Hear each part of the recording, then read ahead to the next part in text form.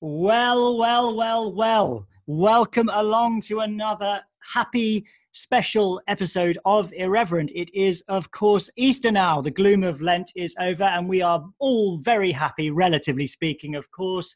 It's me, the Reverend J.A. Franklin, curate in the Church of England, and of course, as always, my good friend TJ Pelham. Tom, how are you doing today? I, it's it's great. The weather's changed. I mean, how, how wonderful was Easter Day? Um, well, it's always wonderful, but it's especially wonderful, I think, when it is sunny, because yes. it's like creation is rejoicing alongside you. Amen. Um, Amen, brother. And, uh, and so I think um, I think that's always great. And had a wonderful uh, Sunday roast um, Ooh, in nice. the garden with my brother, who I've not seen in months. Was and it lamb? It was lamb, Jamie. We we we sort of that sort of Paschal symbolism. Killed the fatted calf. uh, and my mother did a fantastic um, roast lamb, and it was just uh, it was just really lovely to sit there and to celebrate um, in, in sort of wholeheartedly. So that was really good. Um, and uh, here we are now, Easter week, a joyful week. Yes. Um, and uh, so we're glad to be here, Jamie. The sun is shining. It's warm outside. Um, you know, uh, next week I can go shopping. You know, I can get my beard cut. This is that the time has nearly come, Jamie. Between this ah. this podcast and the next, I will be shorn. I'm so uh, grateful. I'm just so grateful to the government for giving us the right to go shopping. Thank you, government. Thank you. Hey, Tom, I had a great, I had a great Easter Sunday. We had um, significantly more people at church than we'd had. We've had ever since I've been here. So our congregation is growing despite the lockdown. People want to come to church and they come to us because we're open. The, lots of people who aren't even Catholics or they're not into the high church thing. They're sort of evangelicals, but they come to us anyway, just because we're open and we're we're uh, we're preaching the words, we're celebrating the sacraments, we are gathering together as Christians, and people people need it and they want it. We've we've even had a few people who listen to the podcast who live in the area who've actually come and visited our church, and there were a couple there on Sunday, which was wonderful. wonderful. I got a wonderful letter from um, two fans of our show. Um, it's great to have this. to, a fan mail, really. Um, yeah. So thank you very much for that. Um, it's, it's up on our um, it's up on our sideboard, um, and uh, you know it's really encouraging to to to have that sort of um, feedback. Um, Amazing. Uh, so uh, very enterprising to find my find the, the, address of the church I work. It's not actually that hard to do, as, as my, my wife and I discovered. So, but uh, I mean, I've had I've had people emailing my church uh, inbox, which I is, fine. I don't mind at all. I've had them ringing my office phone. I don't know how they got the number, but again, that's absolutely fine. In fact, that reminds me, I better unplug it because it, you know, I no one used to ever phone me, um, but now they do. So I'm just unplugging it now. You can see if you're a YouTube uh, uh user. Um, the only person, the only person who, well, I get I get two types of phone call on my um, on my house phone, Jamie. Um, one of them is from my wife because um, she's tried calling my mobile and for whatever reason I haven't picked it up, and she she knows I often leave it on silent in the wrong room. Uh, the other the other thing is is a sort of voice from Amazon um, that keeps telling me that my Amazon bills are overdue. Yeah. Um, is that which? Yeah. Uh, Tom, you failed to pay for everything you ever buy, which well, I, I, comes from Amazon. I'm reasonably certain that I have, in fact, paid for everything. So I think it's a, a scammer. Um, probably, but, probably. Yeah, I think I so. Mean, it's a good bet, though. It, it, they ring you up and say, "Oh, Tom, you bought something from Amazon." You think, "Yeah, basically everything I've ever bought in the last six months or, or, year is is from Amazon." I mean, the the kind of stuff we get from Amazon now. I mean, it's just getting crazy. You know, like like clothes and socks and um, seed for the grass. You know, just anything you want. You just go on Amazon. You just, you know, it's a, it's amazing, isn't it? Um, I mean, it's a bit. Uh, it's a it's a bit. I think uh, I think something like. Um, 20,000 high street shops are closing down uh, over the over these two years, aren't they? They reckon, yeah. which is um, it's, it's know, almost like result. It's almost like Tom that big businesses like Amazon have some kind of stake in lockdown and that it benefits them in some way and that they might they love it, yeah. they might be levering political pressure in order to keep it going. It's almost like something like that might be happening. It, wouldn't be. I mean, the cynic wouldn't be surprised, would he? Um, I, I, mean, uh, whether whether they have or haven't, um, certainly they've been enjoying it. Um, yeah, and they have almost... no. They certainly have no no interest in um, in changing the status quo, even if they're not actively lobbying for it. So, uh, yeah, yeah. yeah um, I mean, it's almost like the largest wealth transfer in the history of humanity, isn't it? From from thousands or potentially hundreds of thousands of small to medium-sized businesses to a handful of massive multinational corporations like Facebook and, and Amazon and, and Google and Apple. You know, it's yeah. it's it's kind of interesting, isn't it? Um, it's, it's, it's, tragic, but yes, no, it's yeah. I mean, you know, in all seriousness, it's absolutely awful for these people whose businesses have been utterly destroyed yeah. by these by these. And, and, and, not just those people who, you know, I mean, those people who were on. In, in sort of customer facing roles in, in these high, high street outlets, they might not own the business, but it, you know, I mean, I mean, effectively, they they their jobs have been outsourced to warehouses, which are not customer facing, yeah. and they're, they're, sort of. I mean, I'm sure people, you know, some people have fun in warehouses. I think, um, uh, but um, I'm sure you had some fun in warehouses. Tom. Actually, actually, Jamie, I have. Um, I used to work for an audiobook company, and uh, they um, they had a Did big you warehouse. Were you one Sorry? of the voices? Were you one of the voices of the audiobooks? No, I, I edited them. I edited them. Oh right, you didn't do the actual voiceovers. No, no, we got we got quite serious actors in to do that. Um, I think my favourite one was was was um, what's his name? Um, the chap who played Manuel in um, in Fawlty Towers. Um, oh yeah, Jonathan Sacks. Is Jonathan Sacks? No, it's not Jonathan no. Sacks. He's, no, he's the he's the chief rabbi. The chief rabbi. Um, uh, ex chief rabbi. Um, I can't remember his name. Uh, yeah, I know who you mean. Is it's yeah. I can't. I don't want to guess because I'll get it wrong. And you get it wrong. Anyway, he was lovely. Um, really, really fantastic guy. Um, really. Um, gentle heart. Um, he read. He was reading uh, this enormous history of the Jewish people, wow. which is also very interesting. Um, yeah, uh, which we were recording. Unfortunately, that company went bust. yeah. so I don't know what happened to it. Never um, mind. Never mind. Um, John, whilst this is extremely interesting, I think we need to say a massive thank you to people who have sponsored us on Patreon. The, re- the response has been beyond my expectations by by a long way. I thought we'd get maybe sort of three or four people. We've got currently 35 patrons, and the Patreon's been up for six days. So I mean, it's amazing because the financial support we're receiving opens up all sorts of opportunities for us, and we haven't actually put those into practice yet, but we will do very shortly. But we're we just we're so grateful for that. But also, I think the sort of emotional and psychological boost of having people sign up to the Patreon is is amazing. And uh, I must say as well that I'm just learning how to use Patreon. So um, I intend to release um, the recordings as soon as we've done them, just so the patrons get something a little bit extra, you know, to get the episodes one or two days early, depending on when we record them. But as yet, I've not actually had time to work out that technology. But one of the great things about Patreon is that you can send direct messages to patrons, and so I've done that a couple of times this week. It's a great forum just to just to sort of bounce bounce ideas off people in a in a more sort of focused way. Um, so it is one of the real benefits of going on Patreon that it is like a kind of small community, and I'm already sort of seeing how that might work.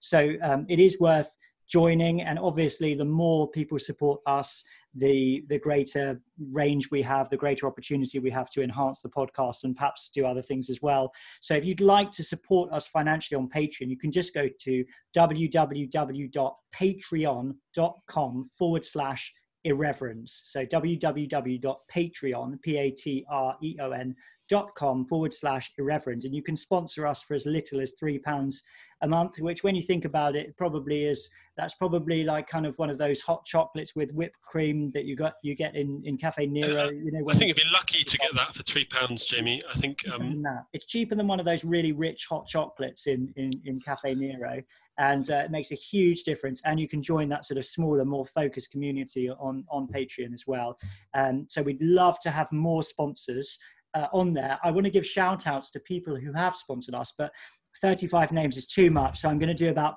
12 names a week. So just quickly, we want to say, and I'm not going to say the second name because I, I, don't know whether these people want to be named fully, but thank you so much to uh, Mia, David W., Recovered Liberal. I'm assuming that's not this person's real name. Stephen S., Jane A., Linda M., Erin B., Andrew S., Kevin F., Fiona W., James M., and Dawn D. Those were our first how many is that? About 12 patrons. That those are our first 12 patrons. We've got several others we need to thank as well, but it's amazing to have this support. I genuinely feel emotionally I feel emotional when I when I talk about it, Tom. I don't know where that's coming through. I genuinely feel really emotional at the, at the support that we've been getting from people.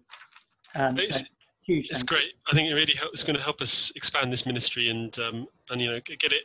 Uh, for example, I know some people have said that my, my sound has been poor, and we're working on that um, and, and various other things that will um, help us sort of um, yeah, Tom, we're we're we're we're a number one Christian podcast, right? We need to up our game here. And I'm recording on a 33 pound headset that I bought so that I didn't irritate people at Cuddesdon. when I was playing games.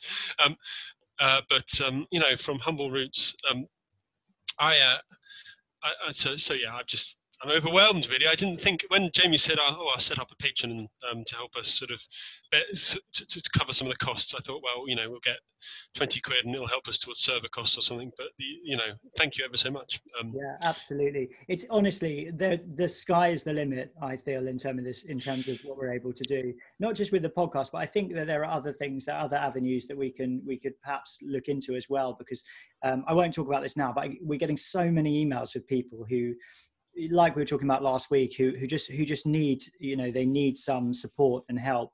And uh, I'm not really sure what we can do at the moment, but certainly. Um, certainly the the patreon community i think is a good way of, of people connecting and bouncing ideas around and stuff like that so between that and the financial support we're receiving and also the way our ratings are going up I really think there's a great opportunity for this podcast to keep growing and growing and growing, perhaps contribute something really significant to the church and to people's lives. Our last episode, uh, we grew another something like another 400 downloads on the audio last week. So it was a, it was our it was our biggest episode ever by 400 downloads. The YouTube video has been watched uh, one and a half thousand times. So this is, these numbers are are really growing exponentially, unlike something else we've we've talked about quite a lot for the last year. Um, so thank you so much, and again, a massive welcome to all our to our listeners. Uh, thank you so much for emailing us. As we say, we get so many emails. I do try and respond to them as they come in if I can, but I can't respond to everyone. I do read them all, take them all really seriously, and I, I pray for people who who email me uh, as much as I possibly can.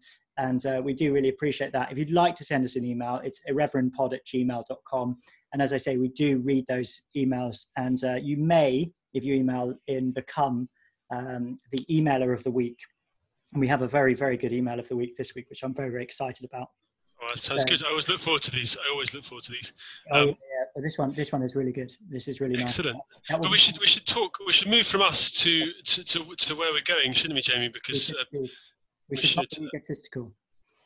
um, yeah. So, so Tom, shall we talk? What should we talk? about? Should we talk about the Monday press conference that we had? This uh, do, we, uh, do we have to, Jamie? And, I think we have to. I mean, it was just one of the, the Easter Monday is a day of joy uh, in the church, uh, um, and um, Boris Johnson and his stooges decided to step out and. Um, and cast a shadow, a long shadow over the next couple of years. Um, a dark and demonic shadow. Um, so, so I mean, it's what kind of we, we've predicted this really, um, we, and we really need to go back and, and see how prophetic we've been because I think we've been a number of times. I, think, I think you said we were going to stop talking about ourselves. Uh, and, and I'm fairly how, certain. Let's talk about how right we've been for so long. Well, it's always nice. It's always nice to gloat. No, because I'm, I'm, I'm, we're not the only people who said these things. To be fair, it is, to be honest, it is as inevitable as the as a train coming around the track. You know. Um, the, the idea that that, um, that, that, that we'll get to the 21st of June and uh, you know that being glacially slow as it is, um, and we've moaned about that already plenty of times. But um, and then and then everything stopping, you know, uh, was was mooted by Boris Johnson.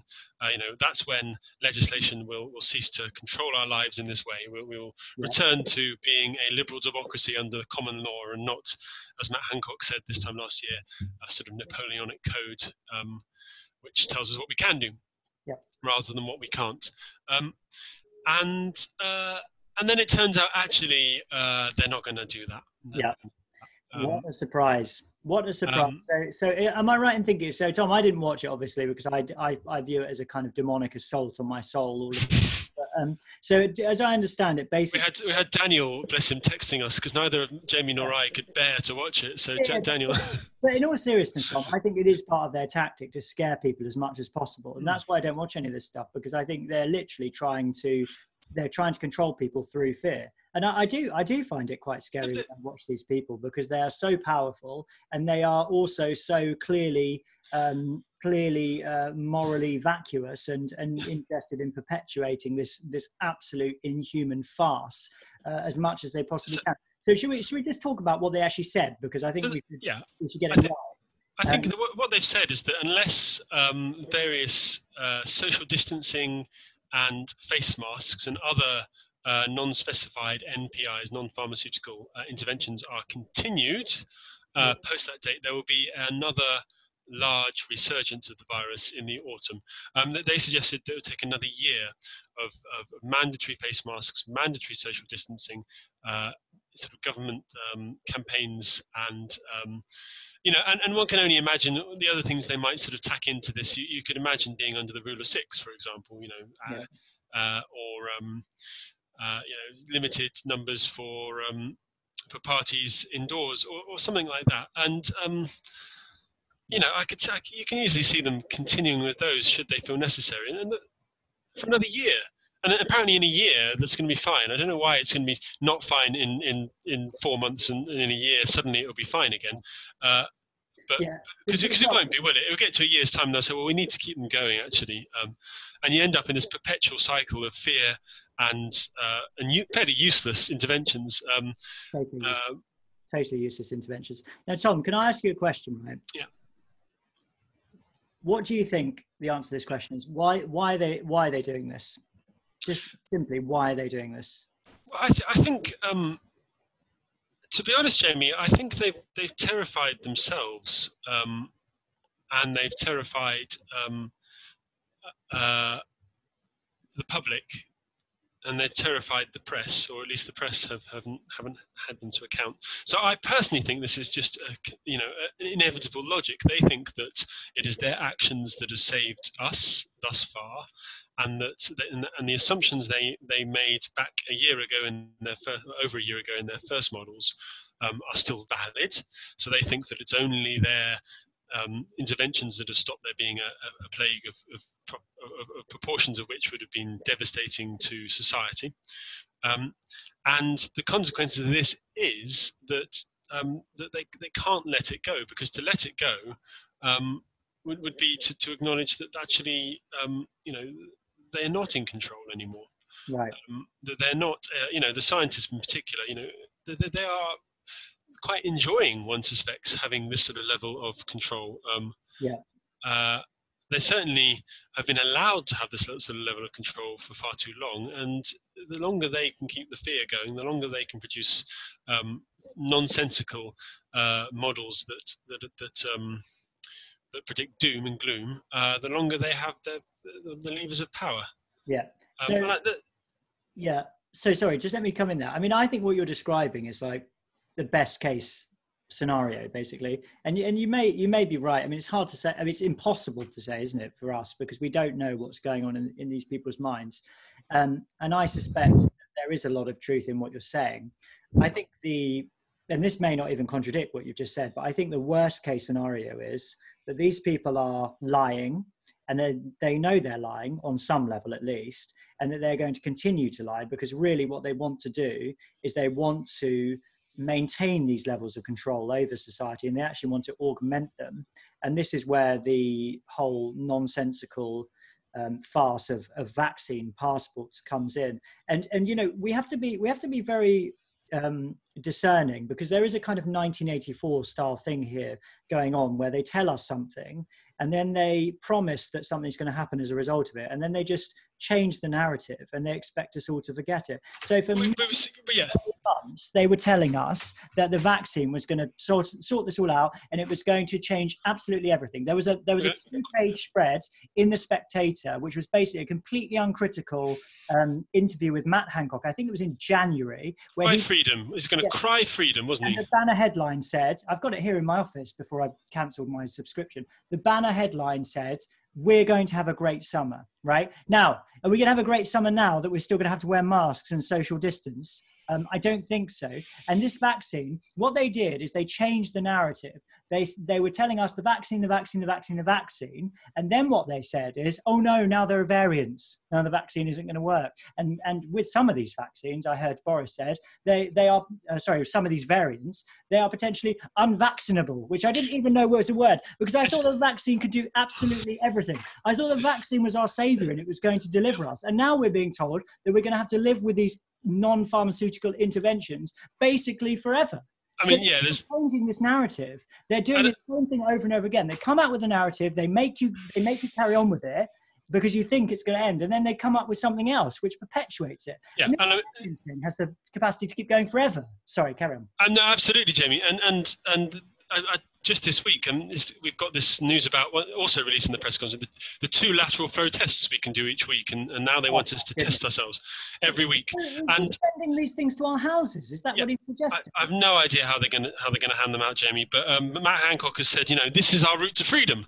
And you think, but, the, uh, hang on a second. Three months ago, our route to freedom was having a vaccine. Now our route to freedom is being tested and presumably having a vaccine. And, and then we hear that Boris Johnson's making his roadmap um, sort of dependent upon testing and vaccine, neither of which are in the roadmap. The roadmap simply, uh, you know, was looking at cases.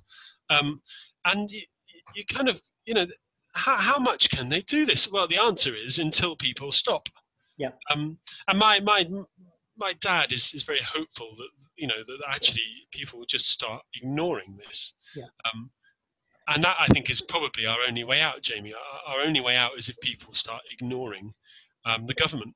Yeah, um, I mean, I do, I do think at some stage there needs, there will probably need to be some kind of mass civil disobedience if this is, if this is going to stop. Well, I mean, I think, I mean, personally, Jamie, I'm going to take my mask off, and I do wear a mask to go into shops uh, because you know, if people ask me to wear a mask, I'll go into that, into there and, and, wear a mask if it's only for a short amount of time.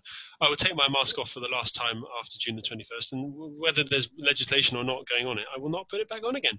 Well, um, and that's one thing that I think everyone needs to do. Um, I wouldn't wear it now, Tom. Just don't wear it. I, I, I consider masks to be a visible sign of submission to this what I what I regard as a demonic ideology now, which is which is casting a dark power over our lives. Do you know something I saw this week, which I thought was particularly asinine and and wicked and joyless, was this idea that at weddings, when a father of the bride walks her down the aisle, he has to social distance from her.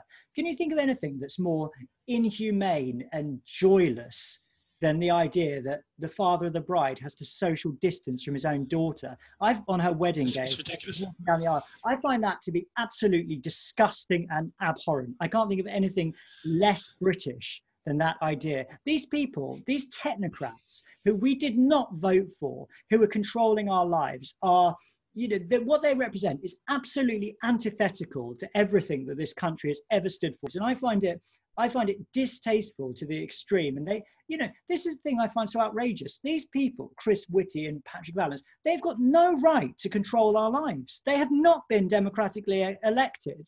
They, they should not be up there in their press conferences next to Boris Johnson, calling the shots, holding their own press conference, uh, press conferences apart apart from the government. I mean, who do they think they are? These people. Neil Ferguson is another one. You know, this man who broke his own lockdown rules to have an affair in the middle of the first lockdown because he thinks he can create rules that everyone else has to follow and he doesn't have to follow them. And now he's back in this NERVTAG committee. I mean, it's absolutely outrageous, isn't it?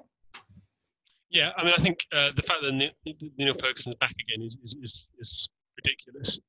Um, I, I, believe, you know, he, he, was only away for a month or two. It was sort of revolving door, really. Um, he was about, sort of he was back on again. about two weeks while he was investigated by the police, and then he was back on a new committee that was set up like, specifically so he could run it.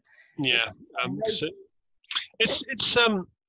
I, it's it's an absurd way of running the country, and, and it's it's a sort of a real sign that, that I think um, that I think that Boris Johnson and his government have actually lost control, um, lost control of what they need to be doing, and and um, and and the sort of job of the government is is to take information, uh, to analyze it, to assess it, to to work out um, whether the what, what the what they propose is, is legal, whether it's proportionate, um, uh, whether it's you know in keeping with the long tradition of democracy and freedom that we've got, and, and to apply a an answer.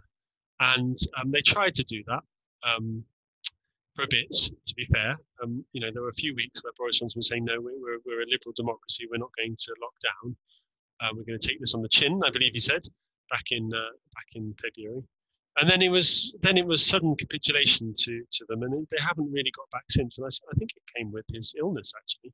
We're, we're about a year off his illness his now, illness, his, well, his illness came after after the first lockdown. I mean, oh, Tom, I've got to tell you, I'm pretty skeptical about this whole thing. I, I, I just, I, you know, I don't know what's going on, but I think this whole thing is basically a deception. Now, I don't. I'm not saying I don't believe in COVID. I do believe it's real, but I think you know, I think what's going on is so manifestly nothing to do with COVID now that I just, I, I, I just completely reject yeah. anything, anything to do with this. Any of these measures, I think these measures are completely unnecessary. I think they're ineffective. I think they're immoral and evil and um, yeah i'm just i'm just done with everything every single aspect of it none of it has any legitimacy whatsoever the only legitimacy that there was in any of it potentially which i don't even accept is the idea of protecting the nhs for three weeks which i don't accept i don't think we should have done that uh, had a lockdown for that purpose. I think there were other ways, but that was the only that was the only thing that made any rational sense. That was well over a year ago. It was supposed to be for three weeks. This is absolute nonsense. I'm not living like this. I'm not accepting it. I'm going back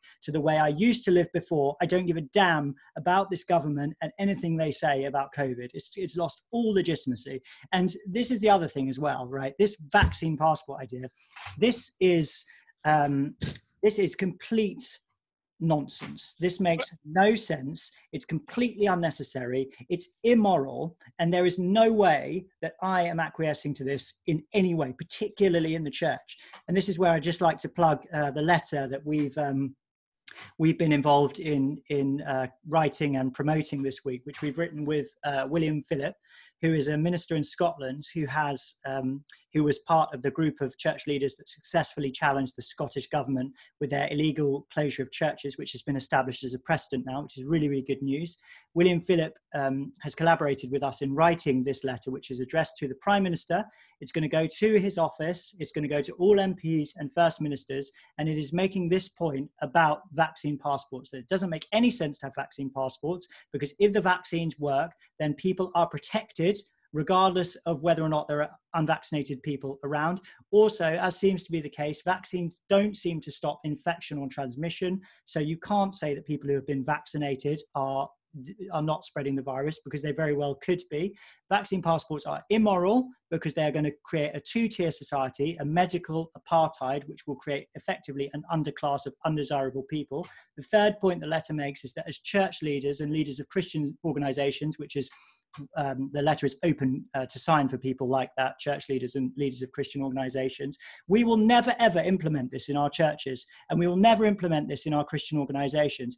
We will never do this because this would be a denial of the gospel of Jesus Christ. The gospel is for everyone. Not just for people who have been vaccinated. It's a universal call to repentance and faith in Christ. And there is no way no way that I am ever, ever going to turn anyone away from a church for not being vaccinated or for not having any other medical treatment. No way. So if you are a Christian leader or the leader of a Christian organization, please go to our website, www.vaccinepassportletter.wordpress.com and sign that letter. We'll put it on the show notes. I'll say it again, www vaccinepassportletter.wordpress.com. We've already got 400 signatures on there. It's been up for about a day.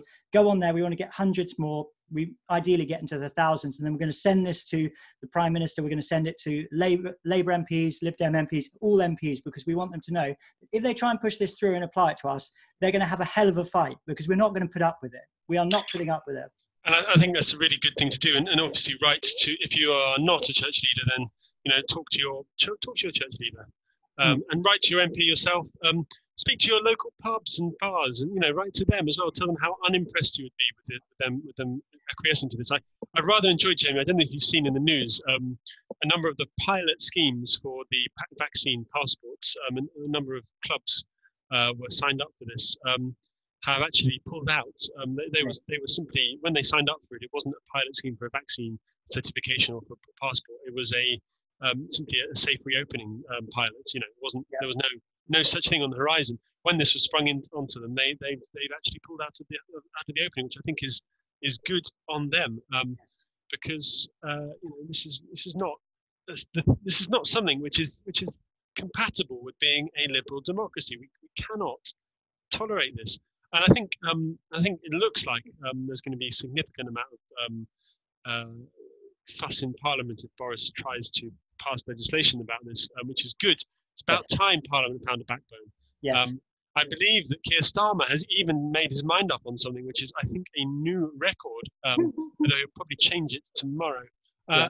You know, it's about time. At least the Lib Dems have, have come out strongly. I mean, to be, so they've had a really spotted uh, kind of um, uh, time as uh, as as being Liberal Democrats in this time because because they've not really stood up for um, democracy or liberalism, uh, but they rarely do. But this time, at least, Ed Davey has uh, done those two things, yeah. um, uh, and um, and obviously added to the to the 35 odd um, backbenchers of the Conservative Party who are, who are very disgruntled. Um, uh, it could be a, a, a, a, bridge too far for Boris Johnson. Yeah, well, let's hope so. We have to do everything we can. Apparently, uh, apparently Tim Farron is very sympathetic uh, to our letter, and he's going to he's going to be raising it, which is which is great news. But yeah, just to emphasise that point, sorry, Tom, I did that in the context of a rant a bit. If you are, just to be absolutely clear, if you're the if you're the leader, if you're any kind of leader in a church or a Christian organization, you don't have to be the lead um, pastor or whatever. You can you can be any type of leader. Go to our webpage www.vaccinepassportletter.wordpress.com and fill in the form and then your your name will be put on the the signatories list uh, manually. If you are if you don't fit that criteria um, that's you can still help us. Um, please take the website address, get the website address, and send it to your church leaders or any le- leaders of Christian organisations that you are, you know of, and and and tell them or at least ask them to consider signing this letter. And you know the more people do this the better. I mean i think if it lands on people's desks multiple times that's absolutely fine. They need to know that something's going on. So if you're if you're um, not a, a, leader as such um, who can sign this letter and even if you are you can send it to other leaders. And then the other thing to do is write to your mp and tell them you're never ever going to accept vaccine passport. We want to absolutely deluge our mps with letters. We want them to have no rest from little pings in their inbox with another person writing to say how illiberal and unacceptable, unnecessary, and immoral this idea is. So write to your MP. If you don't know how to write to your MP, if you've never done it before, go to write-to-them.com. Write-to-them.com. You stick your postcode in, and they will get. They will tell you who your MP is. They'll give you a form which you can actually you can actually do your your email right there on the website and click send. It takes a, a few minutes. Very very simple. They work I think they work for us as well. Is another one that does a similar thing. Yeah. They yeah. work for us. Yeah, um, they work for us. Or write to them.com. Very very good websites. Get on there. Deluge your MP with with letters and tell them tell them to vote against any vote in Parliament for vaccine passports. And I think I think it's very important, especially um, with a um, with a government in such a high majority, especially those in conservative. Um, yes Conservative wards to talk to their MP uh, and tell them in no uncertain terms how upset they are. And, and you know, to be honest, um, how like unlikely you might be to vote for them, whether, whether it's true or not. Uh, how unlikely you might be to vote for them if they if they if they vote for this sort of legislation. Um, you know, until the government starts fearing for its electoral position, they, they will continue to to to, to act uh, with impunity. So it's time that we started, uh, you know, taking um, it's high time, Tom. It's well, high more time. than time. I mean, I've, I've been, I think my MP's given up responding. I mean, to be fair, my MP, Sir Robert Syms, is uh, a good man. He has been one of the consistent um, COVID um, kind of sense uh, what's the, what do they call it? The COVID response party or something. Um, oh, the COVID recovery group. That's the COVID recovery group. He's, he's been a member of that from the start, uh, along with Charles, Sir Charles Walker and various other stalwarts of the um, skeptical scene. Um, but even so, you know, if you've got a, if you've got a, a, MP like Sir Charles Walker, just write to him and say thank you. Yeah, absolutely. Um, because, absolutely and encourage encourage your mps if they're voting the right way but for these mps who are not opposing this you know uh, they, they have to be made aware of what they're going to be voting for or even abstaining from. This has the potential to turn our country into a de facto apartheid state.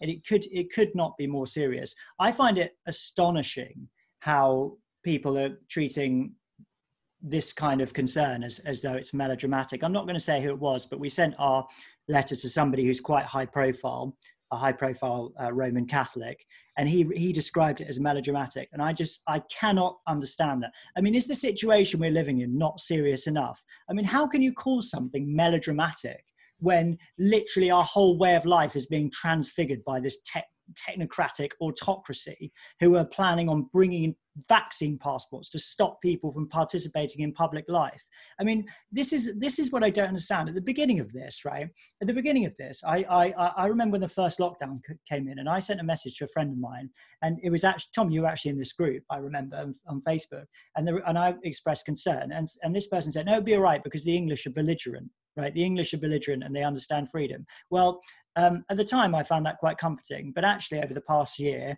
I've seen that the English now are largely speaking not belligerent, and they're willing to acquiesce and allow their their God-given and hard fought for freedoms to be taken away from them at the, at the, at the drop of a hat, basically, because of the threat of, as Sunetra Gupta put it, a third rate pandemic. They've allowed themselves to be terrified into submission to this godless, joyless, inhumane regime. And I, am absolutely, Jamie. I mean, I think it's it's it's not their fault necessarily, in as much as you know, you can't expect everyone to to um, to understand what's going on. But what, what we need is is a press that, that actually yeah. um, engages with um, with, with every side of, of, of, this story. I mean, you know, they ask, they ask the awkward questions. questions like, what, why is there no apocalypse in Florida? Why, why is there no apocalypse in, in Texas? Now they've reopened yeah. four weeks. Um, yeah, why, um, why are the North and South Dakotas, uh, why, why, why are they so similar in their epidemic with, with such different um, uh, sort of interventions? Um, yeah. You know, th- these are questions um, why are all of the bad variants coming out of out of places that are locked down hard, Jamie? I mean, it's, yeah. it's well, with the exception of the Brazilian variant, uh, and obviously it's, it's always I mean, hard.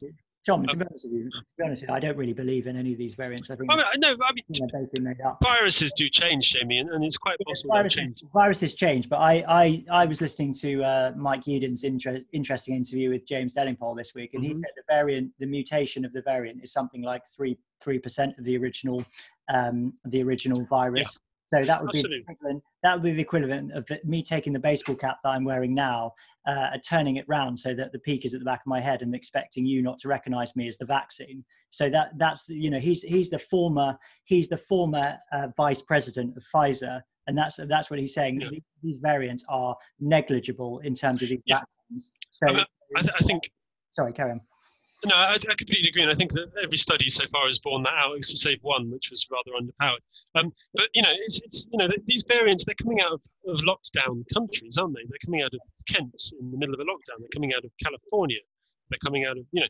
If it, I've said this before, if it was actually a matter of you know restricting transmission was necessary to stop variants, you'd be expecting the dangerous variants to be coming out of India, yeah, you know, out of Africa, um, yeah. not out of not out of locked down states. Um, yeah. where where you know, and, and, it's quite possible. And I know Dr. John Lee, who's on the HART um, the um, recovery group, group recovery team, um, has has mused that actually it's quite possible that our, our adoption of, of hard uh, non-pharmaceutical uh, interventions would actually encourage nastier, um, more transmissible lines of COVID because yeah. um, it will kill off the, the, the safer ones. Yeah. Anyway, that's I mean that's speculation, yeah, and, and it, will make, it will make the ones which are more transmissible um, survive because people will be separated from each other. Um, oh, by the way, Tom, we've had a we've had um, an invitation to, to, join HART, by the way, and I have actually uh, replied and said said I will. And I think I forwarded you the email as well. Yes, yeah, I think that's a really good um, thing. Um, yeah, sorry, but one thing I was just wanted to come back on with you there. Yeah, I mean, I I accept. I think the the press are um, they have a high degree of responsibility for what's happened because they've they have utterly failed and they've betrayed uh, the the British public by um, acquiescing to the to the government. Um, but and I don't mean in any way to to blame the people per se. I think personally, I think the middle class are you know uh, uh are the ones who are who are basically allowing this narrative to to perpetuate itself um, I think a lot of working class people tend to be far, far more skeptical. I had a brilliant uh, conversation with a uh, Sainsbury's delivery driver yesterday. Just, just so easy to to um, to to talk about this stuff with with just ordinary working people who who I come well, across. I mean, um, so I generally, just, just hang one second. So I just I don't want to be heard to be saying that I blame ordinary people. I don't blame ordinary people. I blame people who are powerful and who could do something about this, yeah. who are doing absolutely nothing because it's it, it would inconvenience themselves to do so. Sorry, go ahead. No. I mean, I mean, the, the, the, the key thing to remember is that we're, we're not arguing about petty things here. You know, we're not we're not arguing over small differences. We're not arguing. Uh, you know, nowhere in the world has come anywhere near the pre the, the amount of deaths that, that, that, that were allowed for um, and uh, under the pre-pandemic preparedness pre-pandemic preparedness plan, yeah. um, which was you know nowhere nowhere's come anywhere near. Um, regardless of interventions, different interventions, nowhere's come anywhere near it. We're, we're, we're talking. Um, you know the, the, the, basic assumptions made by our government and by our um, by the modelers and by things have, have not been shown to come true univer- you know yeah. universally so. And um, and so to be enthralled to them, to be to be held captive by them is, is sickening, and it's really um, it is the press's job to, to question that. Luckily, there have been a couple of skeptical articles in the Telegraph and the Spectator recently, which is nice, but um, they're sort of balanced by, by some awful stuff in the Independent. But hey, um, uh, you know, um, I think uh, until the public throw off the reins then we're going to be in this. Um, and so, you know, we're back we're back to where we were a couple of weeks ago. We say, you know, trust God and trust the working class, um, because I think that's where it will start. Um, yeah, amen. Um, amen, brother. Should we hmm. should we talk about what happened on Good Friday? Because I think it was uh, I think it's a, this is this is another um, absolute disgrace what happened. So uh, we've got a good article here by our, our, our new friend William Philip, who wrote on uh, lockdown skeptics about this. Um, we'll put this on the show notes. Right? Why will the police allow Muslim protesters to gather outside Batley Grammar School, but not Christians in a church on Good Friday? Right. I was shocked, but sadly not surprised when my phone pinged with WhatsApp message pass, with a WhatsApp message passing on a video of police breaking up the Good Friday church service of a church in South London. Video embedded in a tweet by Giles Fraser showed a policeman standing at the lectern announcing that this gathering is unfortunately unlawful under the coronavirus legislations we have currently. You're not allowed to meet inside with this many people under law. He then told the congregation to go home immediately, threatening them with £200 fines and arrest. Um, the tweet, this is Giles Fraser's tweet, uh, which included the video, asked, What have we come to? Um, the police inventing new laws, it seems. It's certainly not unlawful for churches to be gathering for congregational worship anywhere in the UK. This has been so in most of the country since last July, apart from a few brief periods of closure. In Scotland, where I minister, it was unlawful until a judge in Scotland's highest court struck down the Scottish government's law on the 24th of March for following a successful judicial review in a ruling which sets up a very important precedent for the whole of the UK. Lord Braid accused the Scottish government of having merely paid lip service to Article 9 of the European, European Convention of Human Rights and failing to accord it the importance with uh, which such a fundamental rights uh, deserve. It appears Wandsworth police have fallen into the same trap, both disregarding the fundamental right to worship and overreaching themselves in the most insensitive of ways on the most significant weekends of the Christian year. Did you see this video, Tom? I'm, I'm sure you've seen it. Yes. Uh, sorry, I thought I was waiting to see if you're going to show me it. Um, no, no, I, I, have I have seen the video. Um, it's, it's, know, absolutely it, un, it's, absolutely unbelievable, isn't it? it? Do you know? I mean, there's so many things that the police have done wrong here, um, and, and, you kind of you kind of think, um, where do we even start unpicking what was going through their heads? I mean, if even if there was um, sort of uh, social distancing guidelines being broken, it, it, it, must be said those are a matter not of law but of guidelines, yeah. and they're a matter of uh, not of you know uh, not not there for a police matter. Um, but you know, sort of rolling back, you know, there aren't any maximum numbers allowed in churches. There, there's no such thing. Yeah, uh, it has to be. Um, it has. It has to be risk assessed, doesn't it? I think. It has to be risk assessed, yeah. but um, as long as you know. But rolling all the way back to, to thinking, you know, at what point did they think it was okay to storm into a church and shut down a service when the, you know, when when you think the, the appropriate thing was surely, if they have a concern, to speak to the priest before or after the service, um, ideally after the service, um, to talk it through. Um, that that would be policing by consent, which is probably you know an alien uh, kind of um, thing, but actually that's you know that's what the police should do. Then they're not there to storm in and shut down things services yeah. unless there's risk at that point to, to sort of uh, uh, to, to life and limb, so to speak, which there isn't. Uh, you know, um, but you know what what what were they thinking? Yeah. I mean, you know, they're just. I mean, I, I've got no idea, Tom, but I mean. I think one of the, I, I saw Peter Hitchens tweet um, said something like, you know, this this um, you know farce in uh, wherever it was in South London today demonstrates to us that we no longer live in a in a Christian country, and I, I think that that's that's that's definitely true. If this culture was still in any way remotely Christian, you would have thought that these police might have thought, well, you know, today is actually Good Friday, which in some ways is the holiest day of the Christian year. I think you could probably say it is the holiest day of the Christian year. You know, it's the day when when um, we we celebrate and participate in the death of our Lord Jesus on on the cross. You know, we we um, we uh, we worship Christ as our as our crucified Savior. You know, we creep creep to the cross and you know various different people do that in different ways. But you know there are all these very sort of sacred and holy holy things that we do. And for the police to not show any kind of tact any kind of care and consideration i think it does show just how profoundly godless and secularized this culture is now. Um, William Philip writes Our police today will reverently sink to their knees before violent, statue destroying BLM protesters, but they will threaten to arrest and fine those bowing the knee before Jesus Christ on Good Friday. And I, I, think that just I think that just about sums it up. You know, one of the things he said, I don't know whether I quoted it earlier, but one of the things the policeman said was, I appreciate that you would like to worship. You know, I mean, how how dare he? It's not a question of we would like to worship. It's firstly, it's our right under the European Convention of Human Rights to worship. It's not a question of a preference. It's our right. And secondly, there is a law which is higher than the law of this nation, and it's the law of God. You know, we are yeah. to worship. And yeah, I mean, you know, as if the police can come in and say, "Well, I appreciate you'd like to worship, but yeah. we're actually saying no." Yeah, and I, I mean, it, as if they had any sort of legal power to do that anyway, because it's quite, you know, he was making up laws as he goes along, um, which is, you know, pretty much the definition of a police state. Um, yeah.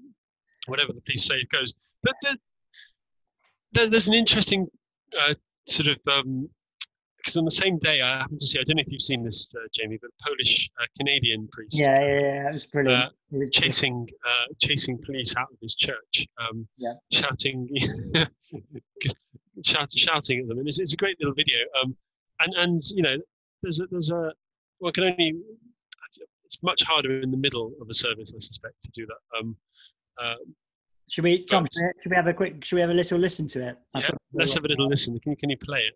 Uh, yeah, let me just. Um, I've got it's uh, the the thing I've got has an advert on it, so let's just wait. Let's just wait for the advert, and then we'll listen to it. I mean, it goes on for such a long time, which is part of the reason it's so brilliant. Here we go. Let's listen. Immediately get out. Can you hear it? Out of this property immediately. Out. I don't want to hear anything. Out of this property immediately. I don't want to hear a word. Out. Out. Out of this property immediately until you come back with a warrant. Out. There are six out. six masked out. policemen in the. Uh... Out. Out. out of this property. Of course, part of the problem, Jamie, is that um, actually our, our leg- the legislation that the government have brought in have kind of completely removed the need for, for warrants.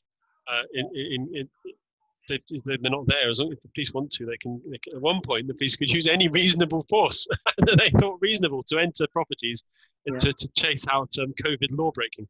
I mean, uh, any reasonable force. I mean, you know, they could shoot someone, and they say as long as they think it's reasonable, uh, you know, it's it's just um, it's, it, you know the, the, the whole concept of property rights, the whole concept. I mean, do you know, where does one start with quite how ridiculous the the um, the legal system we're currently working out, uh, working under is? I mean, it actually gets bigger. Did you know this, Jamie? We get more legislation every time we get freer.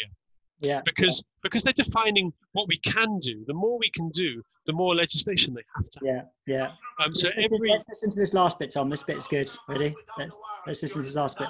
You're not welcome here. Nazis are not welcome here. Gestapo is not welcome here. Do not come back, you Nazi psychopaths. Yeah, I mean, sick, evil people. Yeah. Intimidating people in a church during the Passover. You Gestapo, Nazi, communist, fascists. Well, See that, he, he... that, my friend, that, my friend, is a voice of somebody who understands the threat that the state poses to yeah. religion and free free life and association. That's somebody who understands the severity of the situation. And there are probably people thinking oh well he was going over the top. But you know, this is I I find that absolutely brilliant and inspirational and, and well done him. You know, and I think, you know, if, if a, I don't know really what I do, but if a policeman tried to invade a church service that I was part of, I would hope that I would respond in a similar way, you know, because this is absolutely outrageous. Police invading our churches. How dare they? How yeah, dare they? I mean, it's been commented on quite strongly before, but you know, in, in medieval common law, um, the church was a place of sanctuary from the from the uh, from the violence of the state, um, yeah. which was something which uh, you know um, which which was sacrosanct. You know, you could you could go there um, for um, to, to as, as, a fugitive from the state, as a place of asylum uh, and peace. Um, now, uh, how different we are now um, with the with the jackboots stomping up the aisle. Um, it's, it's, it's saddening. Um, and do you know, I've, I've been thinking about this, how the state has, has pushed its way into our churches, and not because they're, they're there already, aren't they? They're, with the with the um, with the masks and, and how they render a church service down into a sort of uh, you know the congregation into a binary of COVID and non-COVID. You know, looking distrustfully, peering at each other around these uh, around these rags. Um, yeah, just it's just alarming, isn't it? The state has already come in, and you know where where would where is the, the embracing of the leper or, the, or the, the, that um, that used to be the case? You know, do we need to have um, do we need to reintroduce the uh, the leper holes? Um, we spoke about that last week. I was, yeah. I was I, you know, I, one suggestion I've heard is if churches ever do um, do uh, start vaccinating, uh, requiring COVID vaccination certification or passports. Um, you know, um, so, so two people I, I, I know very well said, well, we will we'll stand outside and ring bells shouting unclean until yeah. we're allowed in. You know, and we'll do that every week without um, yeah. without end. And I think you know, yeah, that's what this is. What this is, isn't it? We're, we're being divided into clean and unclean. It's it's a it's a it's, it's a yeah it's a, it's a return to um, to those sort of um, pharisaical rules. We've said this before. Yeah. You know. Um, it's a what it is, Tom, is a demonic inversion of the gospel, and it's an attempt to undermine the church's ministry. Um, I think the um, I think the the wearing of masks, the you know ridiculous um, gu- guidance around not singing uh, the social distancing the even even the withdrawal of the chalice i think this is this has all been an attempt to soften the church up for the this assault which is coming which is to do with vaccine passports i think what they want us to think is that well this is just you know we've been doing all these measures and it's just one more thing but actually this will constitute uh, an unambiguous break with the gospel. With those other things, I accept. You know, there may be a way a way where you can still minister and you can still have integrity. And I, well, I say there may be. I think there probably is. Um, I don't I don't wear a mask. I know I know that some people do, but that for me is a red line. But anyway, I, I think you can probably just about accept this to a degree and and still be a faithful minister. However, this is now an attempt. They, they're trying to they're trying to gradually move it closer and closer, and and then the, this step will be the step where actually uh, what you're doing is anath- anathema, and it is a repudiation of whatever orders, whatever oath, whatever ministry uh, promises that you made to preach the gospel, to invite all people to hear the message of salvation. This will be a contradiction of that. And this is actually, again, I mean, I don't want to talk about the Nazis all the time, but this is what the Nazis did with the churches in 1930s. They tried to soften them up with with rules and and guidelines which were which were unreasonable, but they were unreasonable to the extent that people could accept them to a degree. And then they got harsher and harsher and harsher. And then I think I mentioned last week the Aryan paragraph, which basically banned uh, Jews from being ministers in Christian churches and eventually ban Jews from Christian churches altogether. We're not a million miles away from that. You know, um, I, I, think there's a difference clearly between people who are unvaccinated and people who are Jewish, but essentially we're talking about the same kind of thing. We're talking about banning unvaccinated people from our churches. And in the words of Karl Barth, nine, nine, nine. never, never going to happen. And if churches, if churches implement this, they will be apostate. I, have got no, I've got no problem with saying this. I've, I've never heard anything like this. You know, if we, if church, if church pastors, how can you stand up in a pulpit and preach the gospel? You know, God so loved the world that He gave His only Son, that whoever believes in Him should not have should not perish but have eternal life. You cannot say that with integrity if you ban unvaccinated people from your churches. I, I, agree. I mean, I, and I don't think the church will go there, though. I, am alarmed at how.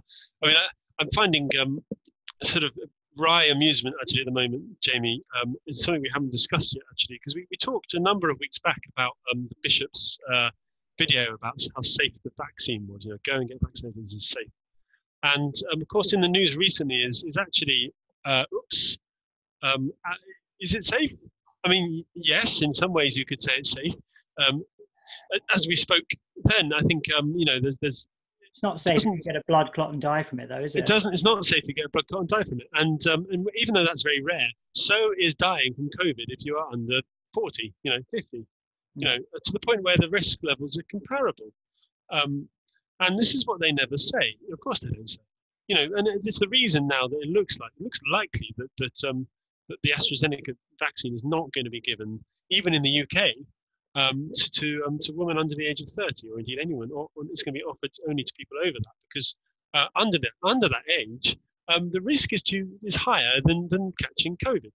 Um, it's it's almost that, well, I, I believe that it's it's it's way higher to people who are well over 30 since basically hardly anyone over under the age of what 70 and who's who's healthy has died of covid so you know, yeah. you're talking about people who are totally healthy. They're not under, they're not at any risk of dying from COVID whatsoever. They have a vaccine, and the vaccine kills them. Right, that that ends their life. And, and, and this is saying that this is safe. You know, and this is you know, and this is exactly why, for one thing, uh, well, politicians shouldn't be saying this vaccine is safe and effective without you know because it's a, it's a, it's, a, it's only for a doctor to say that you know um, uh, but, but, bishops doubly shouldn't be handing out medical advice about vaccines they know nothing about. They, you know, there may be even worse side effects coming down the road. There may not be, but there may be. You there, know, are, there, are, there are many worse side effects than death. Well, I know, but I mean, is in, is in terms of uh, in terms of how um, yeah, the amount of people know, who are affected.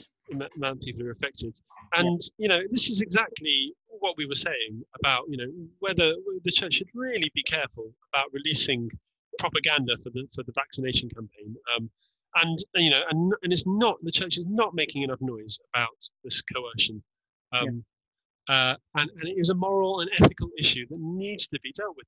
Yeah. Vaccines, okay, vaccines are good. I would say they are good. There are problems with vac- some vaccines because they are um, manufactured using unethical methods. We've talked about those before, and and the AstraZeneca vaccine is one of those. There are other ones as well. Um, but on the whole, vaccination using inactivated virus cells has been a force for good in this world. Uh, but that does not mean that you should compel people. Um, in fact, uh, you know, it absolutely means you shouldn't, because in the end, the only person you can say what is good for you uh, or good for good for any one person is that person, uh, with, with with obvious um, some yeah. some obvious uh, restrictions on that if you aren't able to make those choices. Uh, and they're, and they're you know they're dealt with with due severity. Um, but you know, regardless of all that, um, you cannot have a church telling people to take a medical procedure. You can't do it, and they shouldn't have ever done it. They should have thought long before being filmed, saying, "I've had my vaccine and it's safe." You know, um, actually, uh, this is this is wrong. Uh, this is not our area of expertise. Yeah. Now, for a number of people, actually, for, for everyone under the age of I don't know, they're saying 30, let's say 30 as well for the sake of argument. Everyone on the age of 30, huge chunk of the population, is not safe. It's not, in fact, it's in fact, it's less safe uh, than, than COVID. Um, yeah. and, and that is um, a serious issue. Yeah. I mean, Tom, just to go back to this thing you're saying, right, about vaccines being a force for good in the world. Now, look, I'm not, I'm not disputing that. Frankly, I don't really know what I think about vaccines. But what I would say is the way it appears to lots and lots of people, and uh, and again, I would say lots of people I know who are more sort of working class type people, is if vaccines are so great, why does the government uh, why is the government trying to coerce people into taking them? Why don't they just explain clearly what the risk um, ratio is and why why it's so good to take vaccines. And why if vaccines are so great are the vaccine companies um, why do they have legal indemnity for, well, I mean, I mean, I think they've got they've got legal indemnity because the government have uh, authorised these under emergency use. No, no, but there's but they have legal indemnity every, anyway, don't they? Wasn't there an act no, in 1984 which gives them legal indemnity um, in terms I, of side effects from vaccines? I don't know about that, Jamie, but um, certainly, um, I mean, if I was a if I was a drug company and the government said I want to use your product before before you've finished your trials on it. Uh, and the first thing I would say is, okay, but that's on you, not on us. You know. Yeah. Well, um, maybe maybe our listenership can help us out with that because I'm sure that there's a, I'm sure that there's a, an act which was passed in 1984 which gives. Uh, quite possible. I, I don't know, but you know, that, that's. The fact is, is this is this is big business, right? This is capitalism, and this is yeah. the forces. This is the market forces which are driving this. These people don't necessarily care about your health. What they care about is the bottom line. This is a business, and it's about profit okay as much as it's about anything else and i would say more than it's about anything else now look i'm not i don't want to get into a conversation about like whether vaccines are on the whole good or not but this is what i'm saying is that this kind of thing undermines trust in yeah. governments and, and pharmaceutical companies because we look at this and think this is deceitful. This is actually costing people's lives. And if you're lying about this, if you're deceiving people about this, if you're coercing people unethically about this, what else are you lying about? Yeah. That, that's the point I'm making is that this is not the way to build trust. And many people are losing trust in the pharmaceutical industry and in the in the vaccine industry in general for this kind of reason. I mean, do you think that's a fair comment? I, I think that's very fair, and I, you know that, that's one of the reasons why you know coercion is is, is eventually going to backfire. Yeah, um, because, it is already. I think it is already because it is already. I mean, yeah, they shouldn't have done it. Uh, there's no need to do it. As, as, we've said, there's no logical reason behind this sort of coercion because uh, because in the end, the, the, the vaccines are not designed to stop transmission. They're not designed to um, stop that, or they haven't been tested on that at least. Um, they're designed to stop symptoms um, from being being bad, and they seem to work at doing that. But that does mean that you know you could still catch and pass on COVID. Yeah. So the vaccinated person um, is, but but luckily, you know, as we as we know, Jamie, but as the country hasn't been told enough. Um, you know, the chances of dying from COVID is, is lower than dying from the flu. You should treat it in roughly the same you know level of uh, yeah. risk uh, if you're under the age of 50. Yeah. You know, and as it happens, people over the age of 50 have all, if they wish to, been vaccinated now. Yeah. So why are we still locked down? There's no, there's no, there's no reason behind it. There's no reason behind certification. There's other than the government uh, yeah. keeping the power onto itself. And yeah, you know, uh, yeah, sorry, Tom, I didn't mean to interrupt. But what I was going to say is that this this this one fact puts the lie to this whole thing about vaccine passports, right? Is if if, if the vaccines don't stop infection or transmission, right? So if you have a vaccine, it may suppress your symptoms, but you could still get COVID and you can still transmit it, right? So if you have a vaccine passport, which allows you into a venue, you've been vaccinated, but that doesn't that doesn't stop you spreading the coronavirus. So how does that make any sense? That doesn't make that doesn't make any sense. And again, I mean, this this kind of thing undermines public trust because you think this is completely illogical. You're telling me a reason for this which doesn't make any sense. Therefore, there must be another reason which you're which you're lying about. I think to be fair to the vaccines, they, they do seem to reduce transmission, um, uh, and that's I mean that's good. I mean again, um, with, the exception of the, the, the dubious ethical issues around rushing them out and, and, and the manufacture and testing of them, um, which do need to be thought about. Um, you know, I'm not going to tell anyone how to make their mind up, but you need to think about them um, before taking the vaccine. Um, the, um, the, the the whole rationale behind the not being able to open up or being able to open up is, is, is that the vaccines aren't really working uh, but they seem to be. It's, it's, really weird. You know, we've got we've got models coming out saying vaccines aren't really working, so we need to stay locked down. Whereas, you know, this is was they, they are by their own. You know, Tom, Jamie, I mean, it makes no sense, does it? It's, it's all completely cockeyed. There's, there's no point entering into this narrative because this narrative you know, in the words of uh, who is it? Was it Lewis Wolpert who wrote? Oh no, it's uh, he's quoting actually. I remember the uh, Alice in Wonder, Wonderland. It's asking you to to uh, believe six impossible things before breakfast. None of this stuff makes any sense. It's completely contradictory. The vaccine can't both work and not work at the same time. All right. This is you know this is double think. This is 1984 we're living in. You know, people have to start using their brains and, yeah. and, and start applying some critical thought. If the vaccine works and people who have ta- and people want to take the vaccine to be protected, they can do so.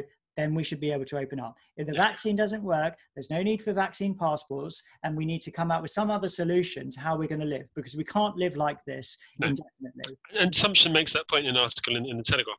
Either this works, in which case we, we, should be unlocked, or it doesn't work, in which case we can't stay locked down. Yeah. But I mean, uh, the only thing I would challenge you there, Jamie, is, is, is that I don't, I'm uncomfortable with with that sort of argument, simply because I don't think our freedom should predicate upon on enough people taking up a, a medical uh, um, procedure. You know, we, we, we shouldn't we shouldn't be unlocked because vaccines work. We should be unlocked because we have inherent right to freedom yeah. that the government shouldn't have taken away from us to begin with. Um, I agree. I agree. And, they, uh, they, should never ever have implemented a Chinese communist style lockdown in the first place, and the whole thing needs to be rejected. Otherwise, we'll never ever get out of this. I'm just saying that according to their own logic, what they're own saying, logic, yeah, absolutely, I get, I get that. But t- too many skeptics keep falling into this sort of, oh well, you know, the, the, now the vaccine's working, we should be free. Well, no, because what, what, what, what, about the next one? Are we going to wait for enough people to take the flu jab in order to get out of, you know, next, next winter? I, have got, no, I've got no time for that. And I don't want to get into a semantic argument here, but I don't think you can call yourself a skeptic, really, if you're thinking that way, because you're, no. all you're doing is collaborating with this ideology. This ideology is false, it's evil. I believe it's a work of darkness, yep. and the whole thing must be rejected wholesale, or we will never ever get out of this. It's like you know, it's like, and I have a lot of sympathy, right? Because I, I've been reading about the 1930s in Germany recently, so I, I do understand that you know it's hard. It's hard to work out what's going on when you've got a regime uh, in charge that are essentially being deceitful. It's hard. It's hard to get to the point where you say, well, you know, um, this this thing is evil and it needs to stop immediately. You know it took a long time for people to come to that conclusion in, in 1930s germany. And even during the war there were lots of um, decent people who who didn't really understand what was going on. But i would draw an analogy here and i'm not saying it's as bad although i think it's got the potential to be as bad uh, with with nazism. You know the whole ideology is evil and wrong and anti-human and it needs to be rejected. People are not just bags of chemicals walking around potentially infecting each other. We are valuable, we are worthy of dignity and respect, and the ability, we should be given the ability to be free and to form normal human relationships and to see our family members and to access education and to start businesses and to do everything that hu- free human beings do, regardless of whether or not there's a virus around. This whole ideology reduces human beings to bags of chemicals, as I say, potentially infecting each other. And it's an absolutely demonic way to think an of awful, humanity. An awful binary of either COVID or non COVID. It's, it's, it's, it's awful. Yeah, um, we, may, we may be about to see the, the final manifest, or one, you know, a, a very significant manifestation of this ideology of these vaccine passport ideas come to fruition, as they already have to well, we can, in Israel. We can only hope that our, our government and well, our, our, government will turn away from it, as, our, as the letter asks. Our parliament will reject it, um, and of course, all all who who um, who who, um, who have faith, who are listening to us, you know, pray uh, earnestly. Yeah, amen. Um, amen for our amen. freedom. Write to MPs. Tell them you're not going to put up with this. Tom, do you want to hear something absolutely outrageous?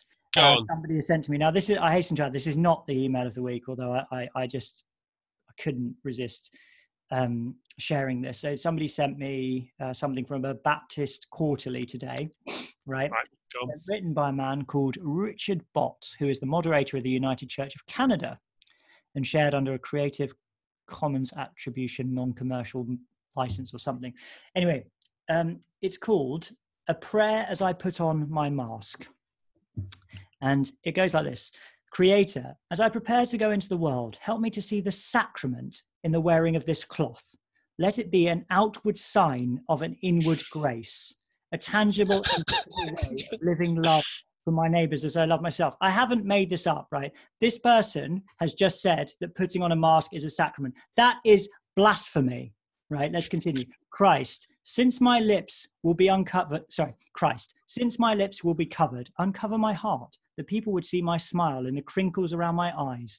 Since my voice may be muffled, help me to speak clearly, not only with my words, but with my actions. Holy Spirit, as the elastic touches my ears, remind me to listen carefully and full of care to all those I meet. May this simple piece of cloth be shield and banner, and each breath that it holds be filled with your love in your name and in that love i pray may it be so may it be so i mean i don't i don't even know what to say about that i think that this person i don't know i just find that to be deeply strange jamie it's deeply strange i mean what can you say tom comparing it to a sacrament is is, is weird. I mean, you know, blasphemous. it's blasphemous. It's, it's, blasphemous. I mean, you know, um, I mean, they don't really compare. They, they, they asked that it might be a sacrament, don't they? Which is which is str- strange. You know, there, there are two sacraments, uh, and the Lord gave them to us, Right. uh, and one they did not involve face masks.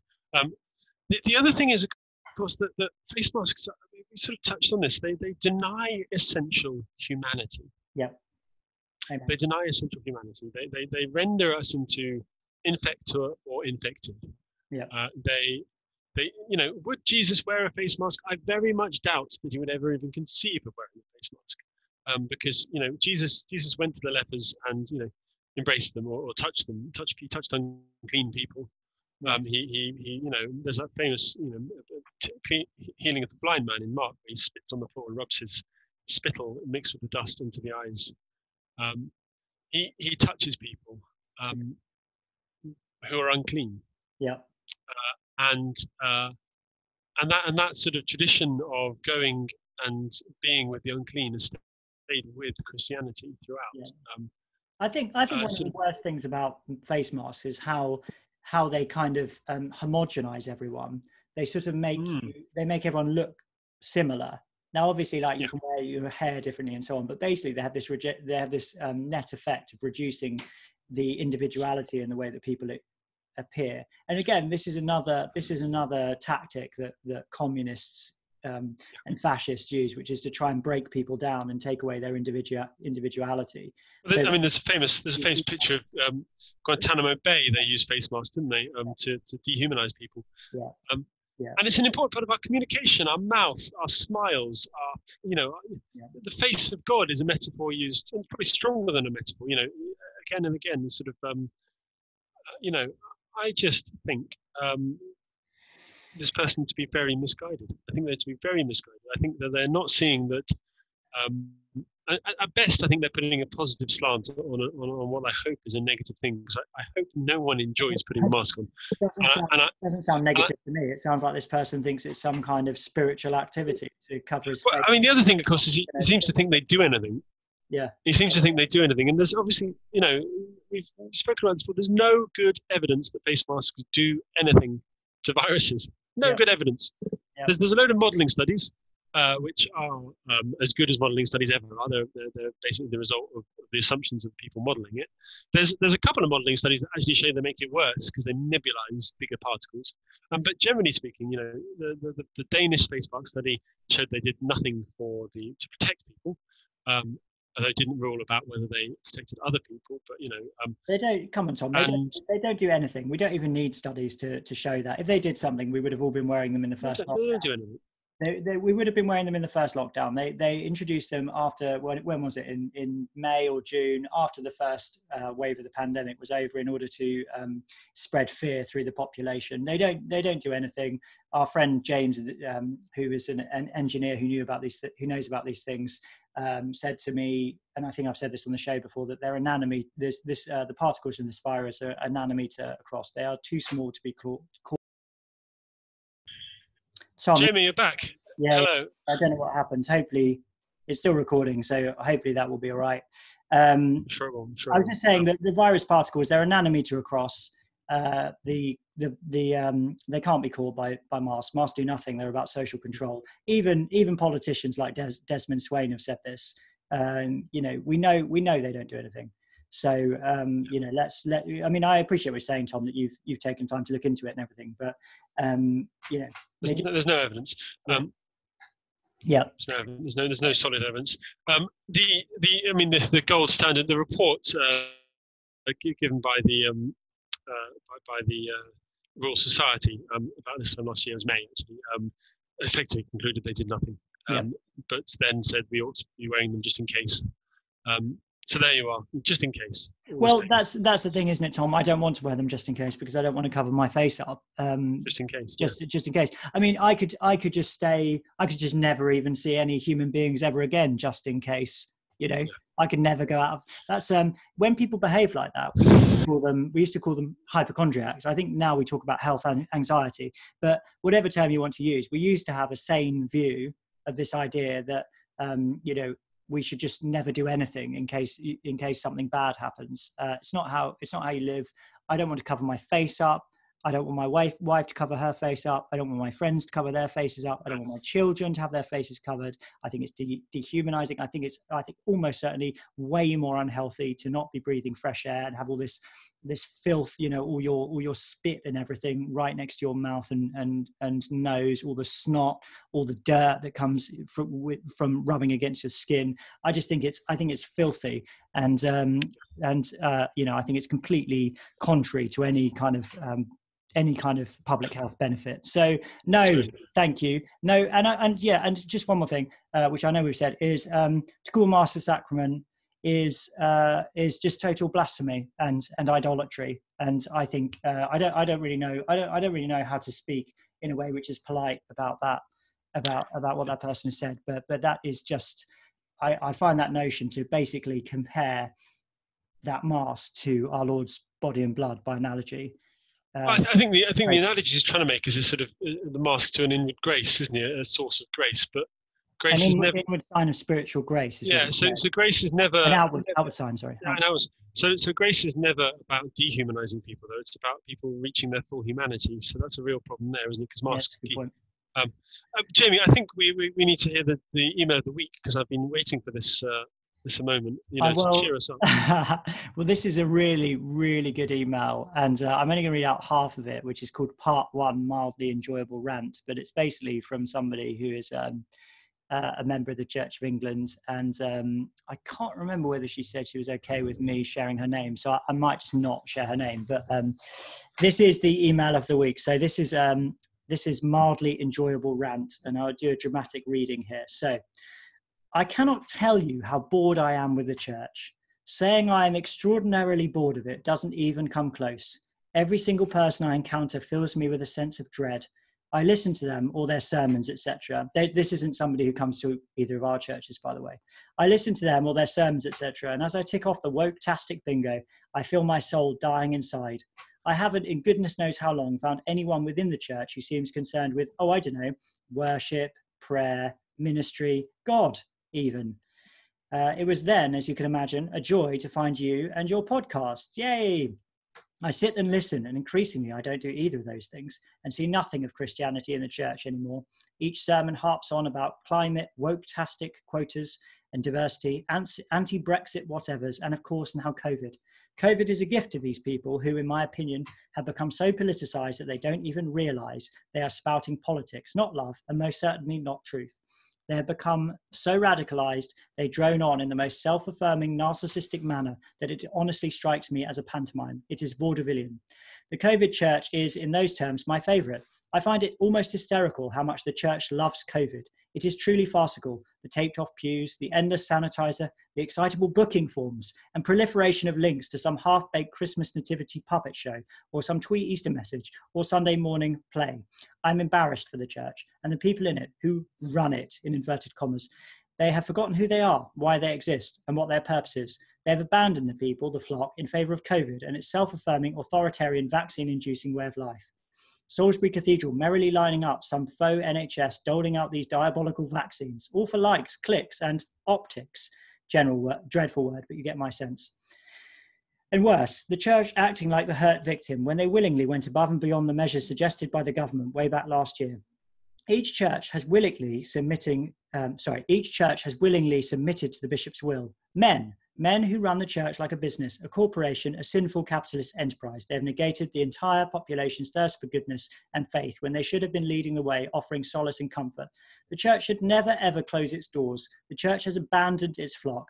COVID Sharia has claimed the church and it is merrily embracing uh, it and its next fancy, climate Sharia. Um, I'm going to miss the next paragraph out. One local vicar I know alienated his entire congregation by Facebooking wokeism. Ramona comments all the time. The new vicar, a weak armed woman, seems to be completely incomprehensibly terrified of any and everything. Where is the charisma? Where is the joy? Where is the love for Christianity, for the church, for its buildings, its statues, its past, and its future? Where is the love of the truth, of our heritage, of prayer, of psalm, of singing? Singing, yes. Where is the love of singing for our souls? Let us hope this storm passes soon and that the sun will rise again. Anyway, enough ranting. I hope you enjoyed this little slightly playful rant. I think it is shorthand enough for you, having listened to one or two of your podcasts now. that you will understand my orientation.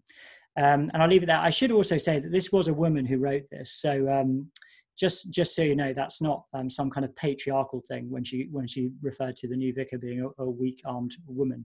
Uh, but that was a fantastic rant, I thought. Tom, did you did you enjoy that? I, I enjoyed it. Yeah, I mean, I'm, I'm, i just you know, I, I don't even know where to start sometimes with, with some of the things. I mean, we're lucky uh, that, that in my church we've avoided some of the things that she mentioned. Um, and um, I'm, I'm glad for that because otherwise I would have had to stop going. and uh, um, but you know, um, well, I, did, did you see that we we were we were we had the honour of a sketch by Bob Moran? Uh, yeah, um, yeah, yeah. We haven't even mentioned and this.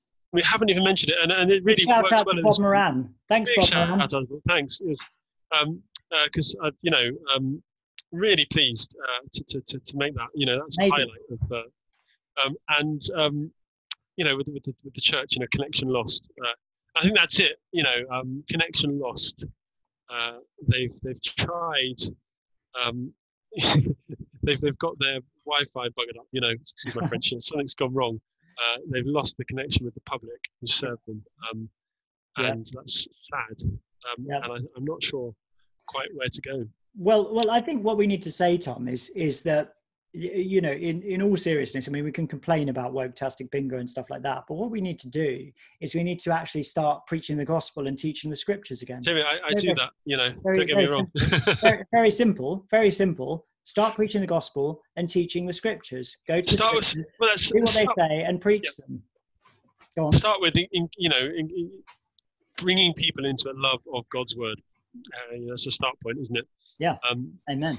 Um, Amen. You know, and, and, and, and, and the wonderful sort of double nature uh, of the word, you know, the logos, you know, the word of God and the word, um, the, you know, in Christ uh, as Christ, and then um, the word of God is given to us in the scriptures. Both of those uh, yeah. need to be, you know, we need to love them. Yeah. Uh, people don't love the scriptures, Jamie. You know, you go to, you go to they about this last week. Yeah, they don't love the scriptures, Tom, because they don't like what the scriptures say, and they'd, re- they'd, prefer, they'd prefer to talk about things like climate change that's that's Jamie. You know, Jimmy, you know I, I was thinking once. I was thinking once about um, an Easter sermon, an Easter Sunday sermon I heard. I won't say where it was, but it was in a Church of England context. And basically, it was Easter Sunday, and the message was uh, the resurrection is really great because it shows us that one day there won't be any more pollution in the oceans or climate change. You know, that was it. Nothing. No yeah. mention of resurrection. No mention of Christ.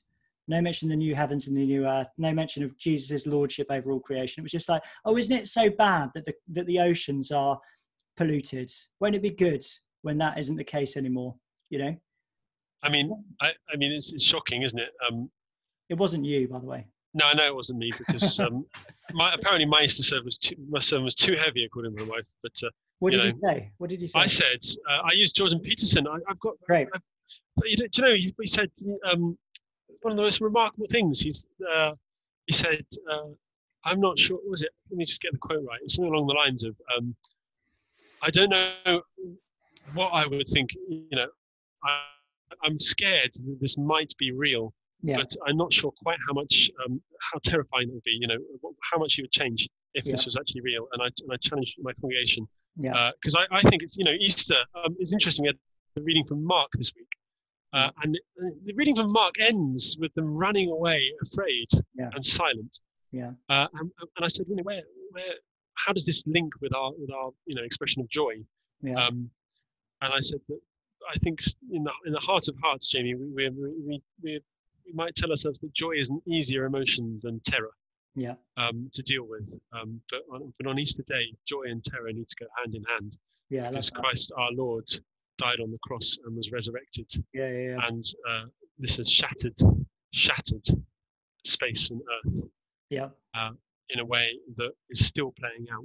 Yeah. And will continue to play out until the end yeah. of time. Amen. Yeah. So I love that.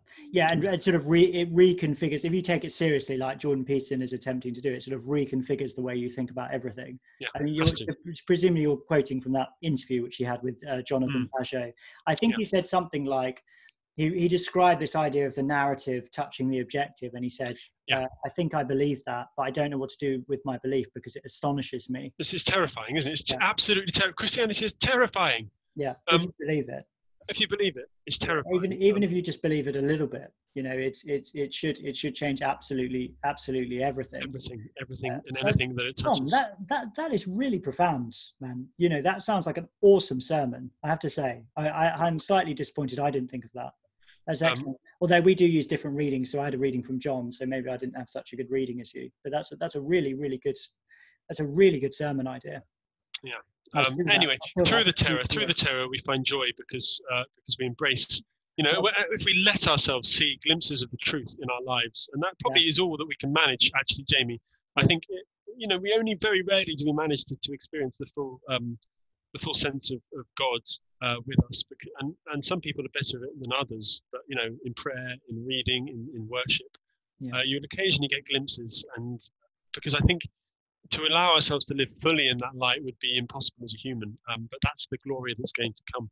Uh, Yeah. You know, and I, I quoted from C.S. I mean, the other person, of course, who's really interested in myths and narrative uh, is C.S. Lewis um, and his and, and J.R. Tolkien as well. Uh, um, Lots I'm of sure people. some Lots, lots Yeah. of people. yeah. and lots of people, but you know, of- of popular people. So I talked about Yeah. that, that dark moment. I don't know if you know the Lion, the Witch, and the Wardrobe, where Yeah, well, yeah, of where course, the of course I do. where they where they find Aslan's body on, on the slab, Yeah. and there's that confusion as the slab breaks. Yeah, You know, that, that ponder po- moment of absolute terror Yeah. uh, in the hearts of Lucy and Susan. yeah. Anyway, Absolutely, man. It's it's uh, it's a wonderful depiction of, of what was going on in the atonement, isn't it? I think the Mm. um, it's great. the, you know when he says to the witch uh, that she doesn't understand the magic that was uh, the the dark magic that was wrought at the beginning or something like Deep, that. deep magic. Deep magic, yeah, Not yeah, dark. yeah, yeah, not dark, not dark. But you know, darkness doesn't necessarily have to be evil; it could be something mysterious. But I take, I take your point that I was technically wrong there. But uh, Tom, it doesn't sound to me like. I mean, I'm sure, sure Sarah knows what she's talking about. That doesn't sound uh, too heavy to me at all. I think uh, people need to be challenged uh, with the truth and the serious of the seriousness of the commitment to the gospel they're making. I actually, um, I actually talked about the church invasion on on Good Friday uh, in my sermon. I, I um, Easter Sunday.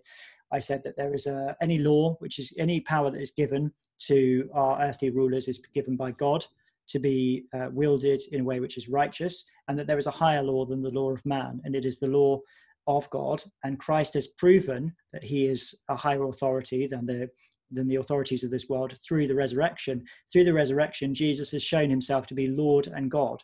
And so he is, he is the highest authority. And when we have to choose between the state and God, we choose God and that's that's the that's the choice which is open to us um, and which which we're going to have to make in in probably a more poignant and focused way in in the days to come. So there we Amen. are. Yeah. there we are man. There we are. Well- Look, tom this is this has been an awesome conversation. I've really really enjoyed this. And i think we should probably draw it to a close because we don't want to give people we don't want to give people too much do we? Because they'll i think they'll almost get overwhelmed at the intensity. But um, just to say uh, just a few things just to just to summarize. Um, if you'd like to get in touch irreverendpod at gmail.com love your emails um, we love to hear from you. Follow us on Twitter at IrreverendPod. Uh, support the show, patreon.com forward slash irreverend. Thank you so much for everyone who's report, uh, supported us so far. Please keep going uh, so that we can expand and improve upon this ministry here. And also, if you are a Christian leader, either in a church or of an organization, please go to www.vaccinepassportletter.wordpress.com and sign that letter against vaccine passports, particularly as applied to the church. If you're not a leader, send it to your leaders. And uh, whether you're a leader or not, write to your MP, write to them.com or uh, um, the other one you mentioned. What was the other website, Tom? Quickly. It was. Uh, uh, uh, right, they work for you. They work yeah, for they, you. they work for you. They work for you. Write to them.com. Go there, write to your MP, tell them, no, no, no, no vaccine passports anywhere at any time, ever. We're not having that in our society. But that's it, basically. Thanks so much, everyone. Uh, this has been, been we love we love our listeners. Like, I genuinely love our listeners. I mean, I've not I've not I've not met almost all of them, but I have such a I just love our listeners, Tom. I just love hearing from them. It puts a smile on my face. It encourages me, and um, you know we're we're just so we I, I I mean we're just so encouraged and and feel so supported by people listening and and getting in touch and downloading the show and, sharing it around and saying positive things. You know, Tom, we we hardly ever get any negative comments, which I find absolutely astonishing. Our, our YouTube videos they have either either they've got no thumbs down or one thumbs down but they've got they've got hundreds of likes so it's an amazing thing to to, to feel such positivity from people Amen. And of course, if you are that way inclined, do pray for us. Do pray Please. for us for our ministry. We pray for you, and uh, be blessed, everyone, regardless yeah. your, you know. So yeah. Happy Easter! Christ is risen. Christ is risen indeed. Alleluia. That was the word that we were hinting at last year. Oh, yeah. last Alleluia. Hallelujah. Or hallelujah. Hallelujah. Christ is risen. So all things are possible through Jesus Christ. So we hope that uh, for all our Christian uh, listeners, that you you have a blessed uh, Easter tide and that you feel Christ closely in your hearts and, and have wonderful times of, of prayer and, and, fellowship with other Christians. And for those of our listeners who are not Christians, we we love you too. Uh, we do hope that you find Christ and that you are blessed. And you're always welcome to this show and uh, to to interact with us and to listen and and to be part of what we're doing here, regardless of of, of where you are in terms of your faith journey. We just uh, say thanks to everyone. And yeah, that's it now. That's it for this week. Anything else? Thank you very much. No, that's it. God bless all. All right. God bless everyone. Bye now. Bye bye.